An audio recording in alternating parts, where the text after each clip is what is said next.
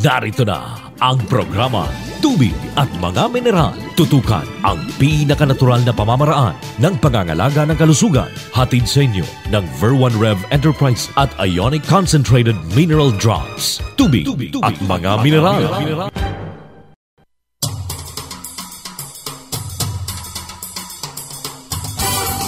Magandang araw sa lahat ng ating mga tagapakinig. Ito po ang palatuntunang tubig at mga mineral.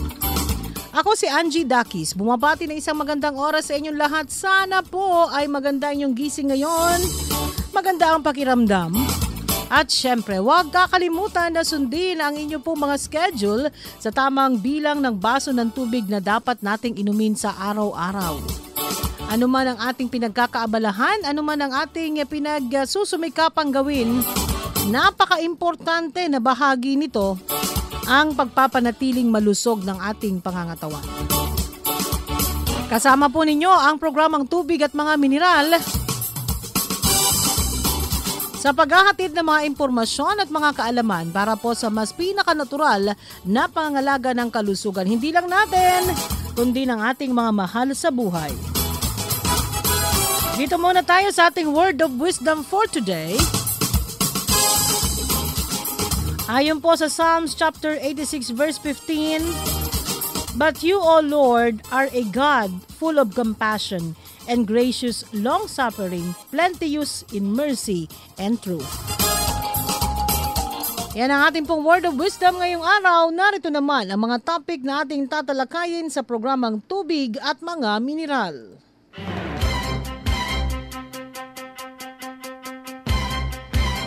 Sa WhatsApp Water Doc, tatalakayin ngayong araw ni Dr. Renato Paragas ang hinggil sa urinary tract infection o ang UTI. Alamin ang maitutulong ng ionic minerals sa pag-correct ng nasabing kondisyon. Sa Don't Panic It's Ionic, ang iba pang mga dahilan kung bakit dapat uminom ng sapat na tubig na may mga mineral sa araw-araw. Sa ating testimonial, isang dating OFW na nagkaroon ng hyperacidity sa mahabang panahon, paano nga ba natulungan ng ionic at ng concept ng tubig at mga mineral na maisaayos ang kanyang kondisyon?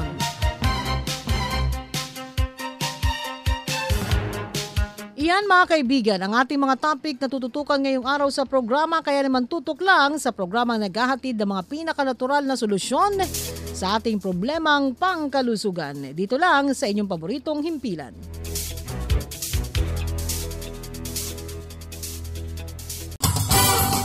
For health and well-being, the human body requires essential nutrients for quality cell life and the avoidance of toxins that cause cell damage. The most neglected essential nutrients are water, the liquid of life, and minerals, the sparks of life.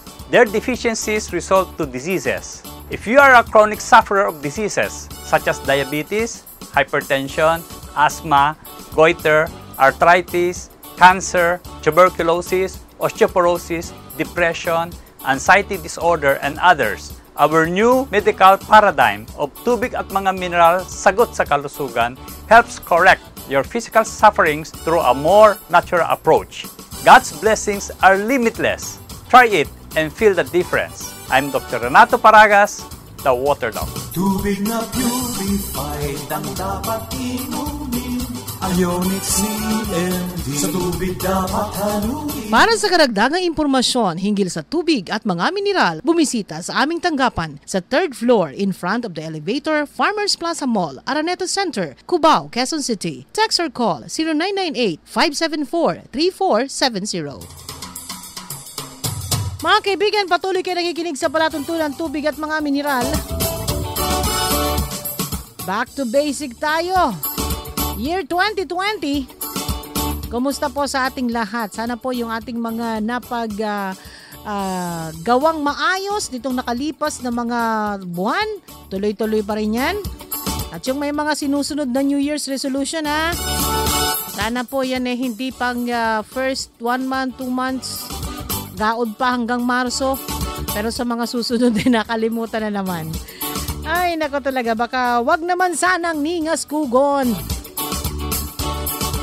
At syempre po, Kami naman ay patuloy sa pag-iimbita sa inyo na maging bahagi ng aming mga social media accounts. Nariyan po ang ating social media sa Facebook at sa YouTube. Ang uh, Ionic CMD Philippines sa YouTube channel at sa Facebook page. Don't forget to add, like, and share.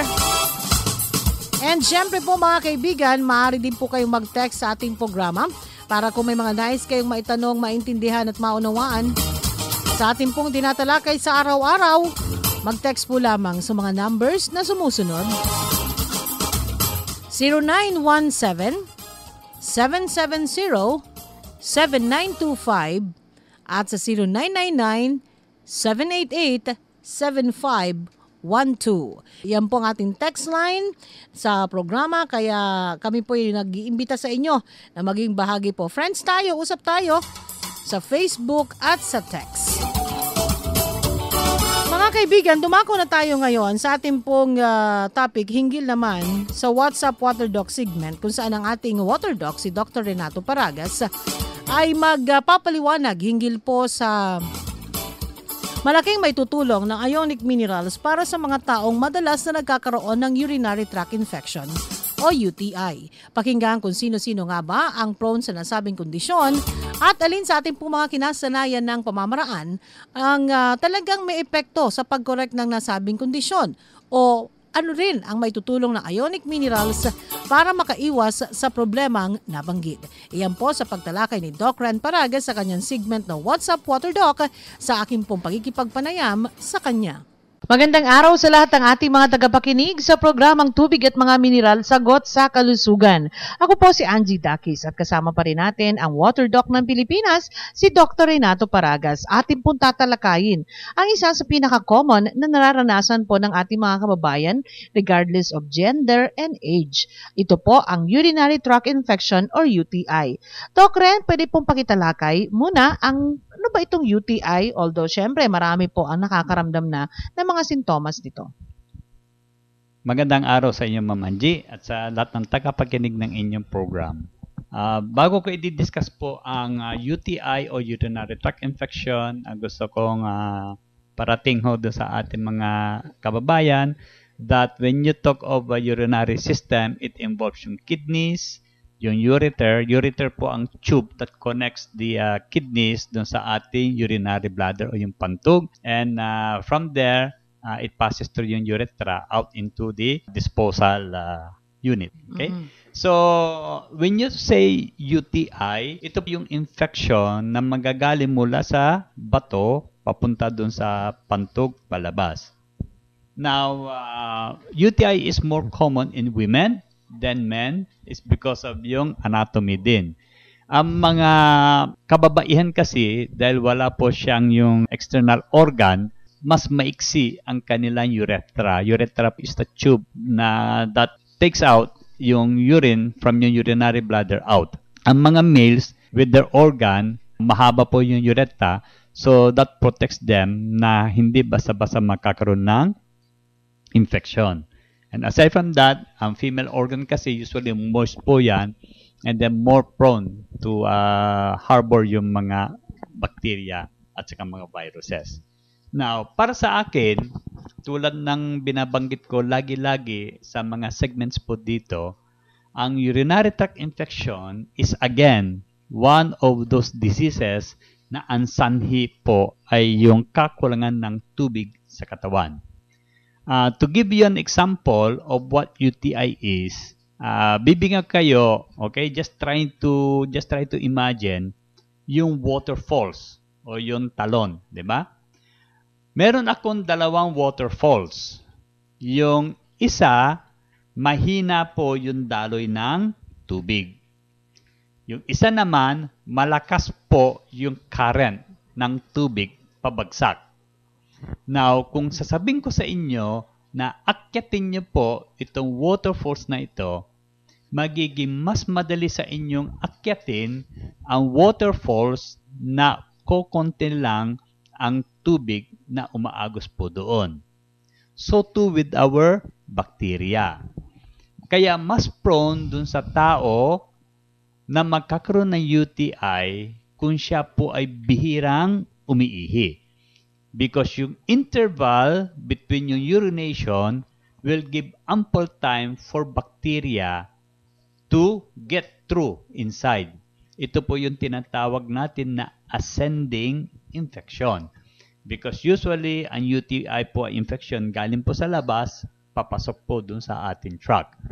Kaya the best way for you to avoid and prevent UTI is for you to frequently pass out your urine. Kasi kung madalas kayong umiihi, na flush out po yung mga mikrobyo na pumipilit pumasok sa loob. And ang taong lagi-lagi pong umiihi, wala pong pagkakataon yan na magkakaroon ng deposits ng ating metabolic waste along the urinary tract. I have mentioned earlier dun sa mga ibang segments ng ating program na pagdating po sa infection, mikrobyo po ay nandyan lamang kung madumi po yung environment. Kasi yun po yung natural nilang trabaho eh linisin kung ano yung dumi, kung ano yung kalat na nakadeposit sa part ng organ na yan. And UTI is one of them. So, ano yung uh, ano diyan? Uh, advice ko, 'di ba? Uminom ng maraming tubig kasi hanggang hindi kayo iinom ng maraming tubig, hindi po magfo-form ng maraming ihi ang inyong kidneys and therefore wala hindi ko gaano karaming ihi na uh, magfa-flush po sa dumi na ito. Okay? But there is also one condition wherein uh, UTI is very frequent. And this applies to women. Uh, dun sa mga parents po na nakikinig, ito po ay SPG. Okay? Strict parental guidance po ang kailangan po dun sa sasabihin ko. Okay. UTI is sometimes also called honeymoon cystitis. Alam niyo naman kung anong ibig sabihin ng honeymoon. Okay? Uh, hindi po kasi maiwasan, mga meron mga ibang kalalakihan kasi uh, masyadong malikot, hindi lang yung ano nila, pati po yung kamay. So they tend to manipulate everything that they could touch. And sometimes na na-introduce po na maduming kamay, ang dumi doon sa part ng uh, babae Okay? Na hindi na dapat uh, pinapasukan ng kung anuman. Okay? And with this, uh, mas nagiging prone ang kababaihan doon sa UTI with sexual activity. So, ano po yung aking in-advise dito?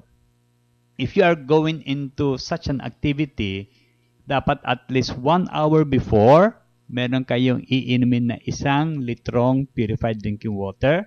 Lagyan nyo po yan ng 20 drops of your ionic concentrated mineral drops. Okay?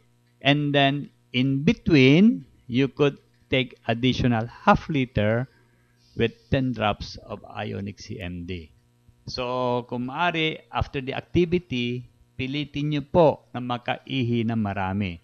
And by doing so, you will not only enjoy the activity, kasi for you to enjoy it, kailangan basa kayo lagi, and then, di ba, yung frequent urination nyo will prevent yung development of UTI. Do kadalasan po na ang UTI ay napagkakamala no inisip ng mga kabayan. Ito na yung mga ordinaryong balisawsaw o busiaw sa Bicol at meron pong iba't ibang management na ginagawa yung mga uh, mga ninuno natin na hanggang ngayon na-apply pa rin kasama ng yan daw ay dala ng init, kaya dapat maligo, magbabad sa tubig, basain ang puson, basain ang palakang, o kaya naman ay pwede rin na yung iba, sabi nga, lagyan pa daw ng alcohol, alcohol ang kanilang chan. Ano ba dok talaga? Ito bang balisawsaw at uh, ah, UTI ay isa lang o pakipaliwanag? Ang effect kasi ng pagbalisawsaw ng mga patients na may UTI, it is because when meron kang UTI, inflame po yung inyong urinary tract. So pag umiihi po, masakit. So ang uh, nangyayari, yung pasyente, dahan-dahan nila ilabas yung ihi nila because yung stream ng ihi will cause pain, masakit. Kaya frequently, ang uh, common cause, ay common complaint ng mga tao may UTI is painful urination. 'Di ba? And because of the pain, 'di ba, yung binabalisaw-saw po sila. So, it's a symptom. Yes. symptoms ng UTI. Okay, so yun nga, to prevent it, uh, we must also prevent yung uh, occurrence of UTI. So the best thing na nakita ko nga na dapat nilang guys proper uh, number one is proper hydration. Uh, inom sila ng tubig, purified drinking water at 50 ml per kilo per day. Pagkatas lagyan po nila yung uh, tubig ng 20 drops of uh, ionic CMD 4 times a day dahil hindi lang po ito uh, makakatulong na properly hydrated yung inyong kidneys but it will also help the infection dahil ang pangunahing sangkap po ng ating uh, ionic CMD is magnesium chloride which according to research is the best uh, antiseptic and it is also uh, the best antimicrobial. Pero yung dok bang mga kinasanayan na yun ng mga ninuno natin ay may koneksyon sa pag-correct ng busiaw o balisaw-saw? Uh, I don't think so. Uh, mas maganda na inumin nila yung tubig uh, para mabasa yung internal environment of kanilang um, Mhm. katawan kaysa kung saan-saan nila ginagamit ang tubig just to relieve yung pain. Oh. I don't know if it worked, uh, but I will still go for yung proper hydration. Baka dok psychologically it work. At yan po mga kaibigan ang ating pagtalakay tungkol sa urinary tract infection. Sana po ay marami kayo natutunan sa araw na to. Ako po si Angie Dakis. Maraming salamat po sa pakikinig. Maraming salamat, Doc Ren. At yan po yung ating topic. Kaya sa mga kababaihan na madalas po nagkakaroon ng UTI at ah, sa mga naniniwala pa rin sa mga, sabi nga nito, kasabihan o mga practices ng mga ating pong nakakatanda, inggil po dito. Pag-isipan na lang natin ng maigi kung alin talaga that makes sense. Pero ako nga, sabi nga po ni Doc Ren Paragas, napakarami na po nating mga pasyente na kung susundin lang yung concept ng tubig at mga mineral, napakaraming health problem ang makukorek. Basta lang ang ating pong tinututukan, dapat yan po ay maging consistent ang pagsunod sa regimen na ito. Magtungo naman tayo mga kaibigan sa ating pong Don't Panic, It's Ionic segment. Kung saan ngayong araw ating pong pag-uusapan ang iba pang mga dahilan ayon po kay Dr. Peredon Batman Helage, ang ilang pang mga dahilan kung bakit napaka-importante na uminom ng sapat na tubig na may mga mineral ang isang tao. Sa librong the sa librong Water for Health for Healing for Life, si Dr. Peredon Batman Helage na sinulat niya yung aabot sa 46 na mga dahilan kung bakit kinakailangan ng sapat na tubig ng isang tao. Hindi lamang po para pantulak ng ating pong kinain o kaya naman panligo o panlinis. Napakarami pala siyang trabaho na napaka-importante rin. At dapat din po natin tatandaan na ang tubig na walang mineral ay kulang at ah, hindi niya magawa ng buo ang kanyang trabaho kung wala po ang sapat na mga mineral. Kaya naman, ang ating nga pong konsepto ay tubig at mga mineral. Kailangan partner ang dalawang ito. So, ipagpatuloy natin. Number 10, water increases the body's rate of absorption of essential substances in food. So napaka-importante po na ma-absorb. Hindi lang yung naibibigay natin, dapat nakainin ng ating pong mga mahal sa buhay. Kailangan din itong mga pagkain nito ay nakukuha mismo ano po ng ating katawan yung mga sapat na sustansya na kinakailangan nito. At eto pa, water is used to transport all substances inside the body. So, may tama rin naman, ano po? May tama rin naman dun sa ating paniniwala na ang tubig ay pantulak sa ating pong kinain.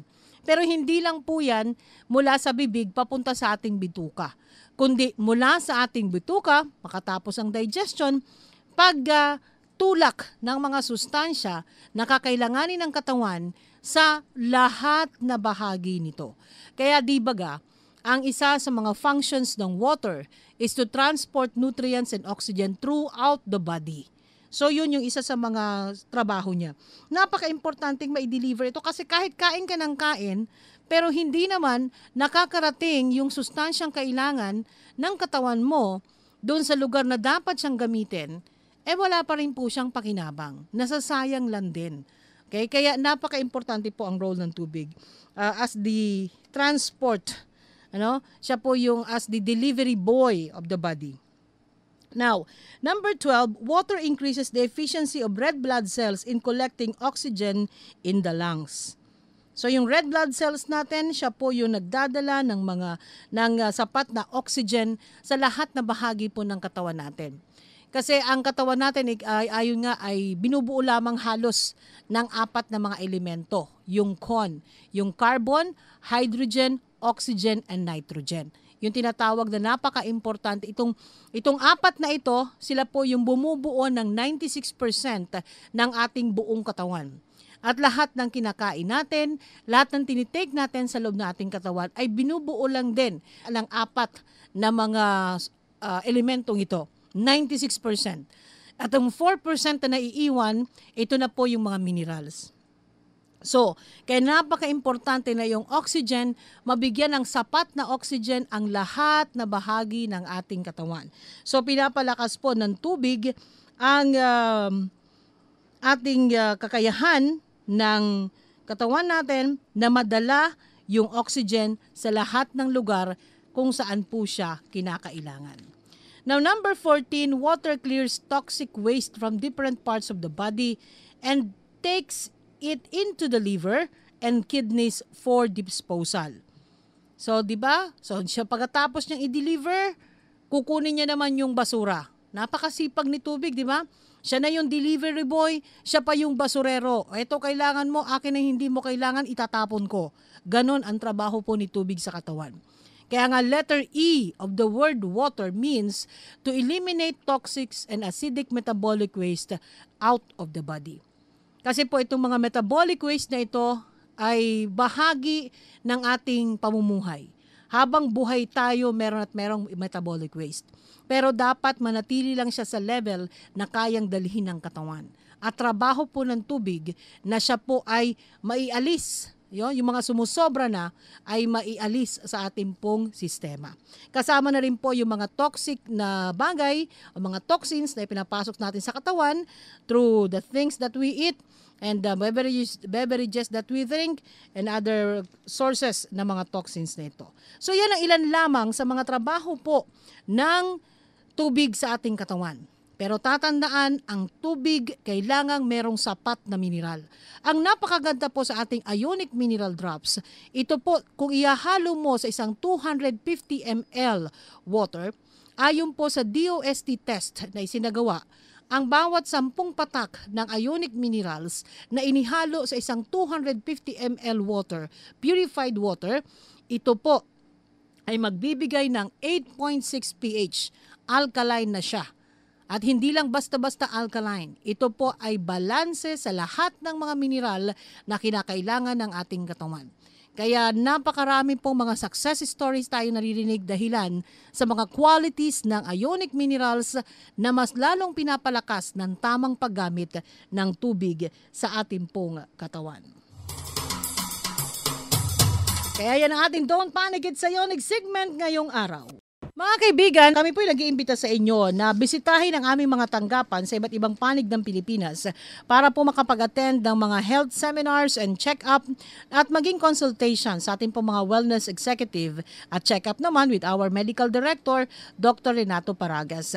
Ang ating po mga tanggapan ay matatagpuan ang main office ay nasa Unit 5B, 3rd floor, RL Building, Panganiban Drive, Lerma, Naga City sa Camarines Sur. Sa NCR naman, sa Unit 2012, second level, sa harapan lang ng elevator ng Farmers Plaza Mall, Araneta Center, Cubao, Quezon City. Ang Abver One Rev Enterprise matatagpuan naman sa Cebu. Ang address ay nasa ground floor, DG3 Building, 72N, Escario Street, Capital Site, Cebu City. At sa Davao sa Mezzanine Manuel Morales Building, 109 JP Laurel Avenue, Barangay 12-B, Bahada, Davao City.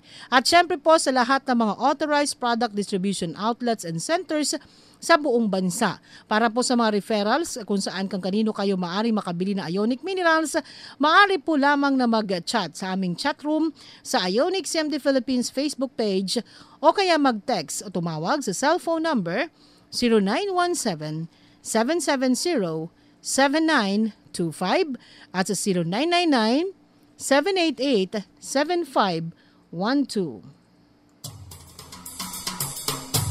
Dumako naman tayo mga kaibigan sa ating pong testimonial sa mga oras na ito. Pakinggan natin ang kwento ng isang dating OFW na matagal pong nagtiis ng kanyang hyperacidity. Subalit nang siya po ay magdesisyon na manatili na sa Pilipinas at na nakapasok sa tanggapan po ng Verwan Rev Enterprise bilang isa sa mga office staff nito, pakinggan natin kung paano po nawala at nasolusyonan ang kanyang problema sa hyperacidity gamit ang concept ng tubig at mga mineral. Narito ang kwento ni Mr. Mark Bibay ng Baaw, Camarines Sur. Hi! Magandang araw po. Ako po si Mark Anthony Bibay, 28 years old from Bao Camarines Sur. Bali, nakilala ko po ang Ionic CMD or Ionic Concentrated Mineral Drop dahil sa first cousin ko na dating nagtratrabaho po sa Ver1 Rep. Nirefer niya lang ako dito dahil naghanap lang talaga ako ng trabaho. Di ko inaasahan na hindi lang pala trabaho ang mahanap ko dito, kundi magagamot din pala ang matagal ko nang iniindang sakit na hyperacidity. Dati po kasi akong OFW sa Saudi Arabia. Umabot ako doon ng halos limang taon. Naiintindihan ko na ngayon na dahil pala sa maling lifestyle kaya ko nakuha ang sakit na yon.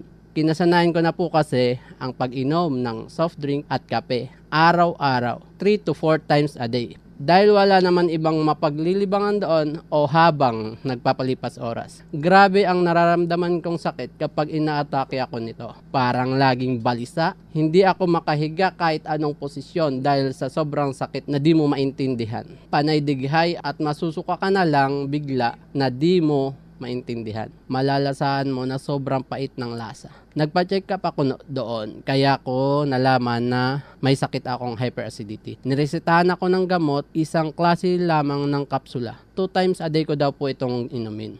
Ngunit naaalis nito ang sakit after 3 hours matapos kong inumin yung gamot. Mahigit isang taon ko yon ininom hanggang sa makauwi na ako dito sa Pilipinas. May dala ako ng gamot, ngunit panandalian lang ang epekto ng gamot kasi inaatake pa rin ako ng sakit. Ibig sabihin, hindi ako gumagaling. January 15, 2018, nung nakilala ko ang Ionic CMD. Mga end of the month na nang masubukan ko yung product. Unang araw pa lang po ng pag-inom ko nito, biglang sinumpong ulit ako ng sobrang sakit pero hindi rin nagtagal yung sakit. Late night na nung araw na yon.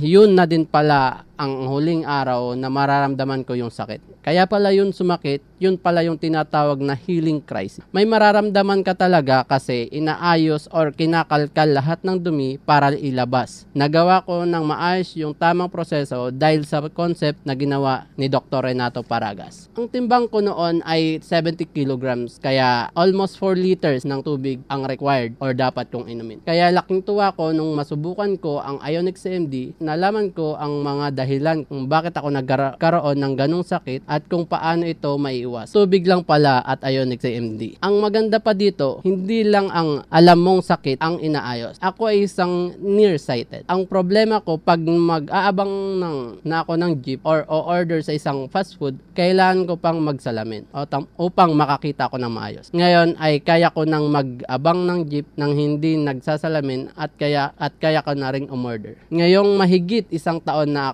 akong nagtatrabaho sa Ver1 Rev Company at mahigit isang taon na rin akong hyper acidity free. Salamat sa Ionic CMD at syempre salamat Dr. Renato Paragas sa pagbabahagi ng iyong konseptong tubig at mga mineral. Sana po marami pa po tayong matulungan. Thank you.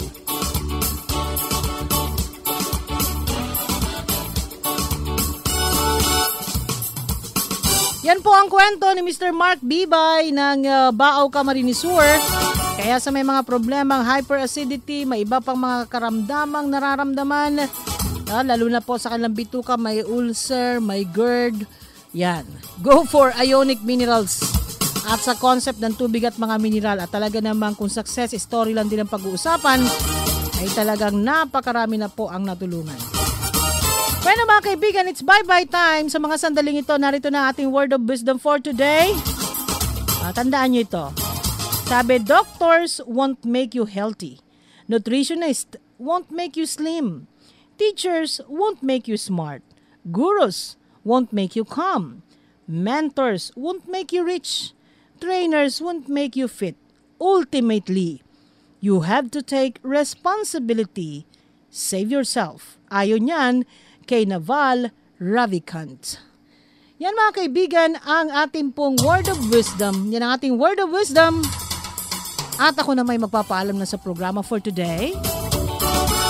Maraming salamat po sa inyong pakikinig. Ako si Angie Dakis. Laging tatandaan sa Verwan Rev Enterprise at Ionic Mineral Drops. We are caring most dearly. Inyong napakinggan ang programang Tubig at Mga Mineral. Hanggang sa muli, tayo'y magsasama-sama sa paglalahad ng mga pinakanatural na paraan ng pangangalaga at pagpapanumbalik ng kalusugan. Idatid sa inyo ng Ver1 Rev Enterprise at Ionic Concentrated Mineral Drops. Tubig, at mga mineral.